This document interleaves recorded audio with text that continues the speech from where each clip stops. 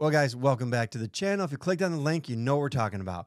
We are here to do the review on the OBOR tires, and these are the Roc Monster ones. So we did an overall review. We did um, some stuff on them. But before we get into that, we'd like to introduce our little friend here. This is called Mr. Spare, right here. Uh, the reason he goes by Spares because he never gets out of the trailer. He never gets to have any fun. So he thought he could be in this video with us and kind of talk about this. So we'll give him a little introduction video. We'll just jump it out like.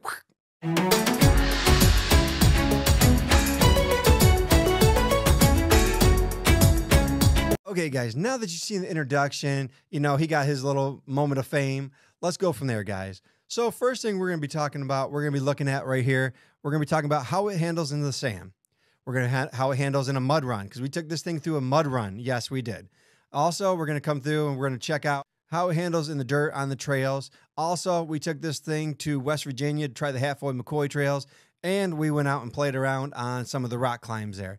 So they have some pretty good hills out there. So we're going to do a quick review of how it handles on each one of them.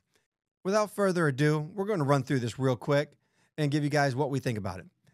So first in the sand, we took this up to Silver Lake Sand Dunes here in Michigan.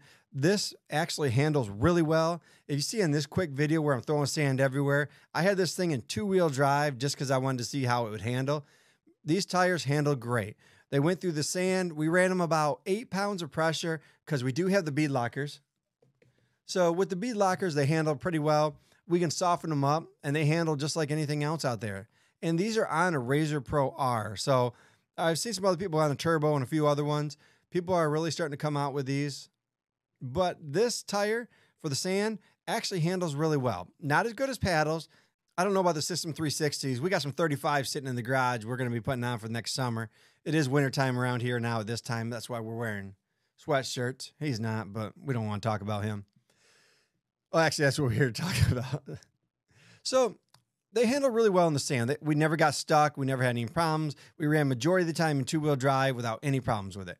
So I would definitely give that a good high rating if you guys are going to try it. And these are rock ones. These are not the sand ones. These are rock. So next one, we're going to come up. We're going to try them out here, and we're going to show you guys how they handle in the mud. So we went to Crystal Speedway, and we took these out in a mud run. Okay, let me rephrase this: a mud bog. We put these babies in a side by side through a truck mud bog just to see how they would handle. And this is how they handle, guys. So, as you guys can see in the video, we did get stuck about 80% of the way. But I mean, if you watched the video before there, there was a truck that had, I think, 50s on that thing that got stuck out there, guys. So, but hey, we made it pretty good. If we didn't skip across the top, I mean, that would have been better. But these things are a little bit heavier, but they were able to handle the mud. So, next one, we'll give you guys a quick here. So, as you guys can see in the video real quick, we were taught we took them through some trails. They handle really well through the trails. They take the corners well. Um, we ran most of the time in four wheel drive just because of the power that we have. They handle really well in the trails, and we didn't really have any issues with them on that, guys. So the next one is the rock climb. This rock climb, you can't really tell in the video as much. Not 45, but about maybe about 8, 75 right there. That hill was steep. So what we did is we put it in rock mode and we just kind of creeped up it and see how they would handle. The tires were a little bit wet because it was kind of a lot of moisture out that day. But when you check on the video, watch this. So as you can see, we kind of just creeped up the hill. I mean, we got stuck on one spot, so we had to drop down back up because the tires were wet. But what I did is I just kind of went around and I was trying the hardest part and hitting the biggest parts of it. So we got caught up a little bit. We went back around. But I definitely would recommend these things in the rocks. I mean, they went really, really well. We're going to be checking these out at Windrock in Tennessee, which is a bigger place. Uh, I mean, we did do the Hatfield McCoy trails. So we want to check them out and see how they handle on a few more situations. But right now, sand, they handle great. I mean, if you're getting out there and you want to play around the sand, you don't want to buy paddles, these tires work great out there. If you want to play on the trails, these things handle the trails like nothing. Um, if you want to take these on rocks, these are really good. They're kind of soft. Um, so you can see on here on the edges, they bend a little bit, but they have flex to them. They're not like garbage tires. These are really good.